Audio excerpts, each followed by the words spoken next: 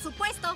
Eso pasa cuando sigues el mapa y hay una aldea más adelante. ¿Tienen un lugar donde podamos comer? Yo quiero comer carne. Ya deja de pensar en comida, ¿quieres? ¿Mm?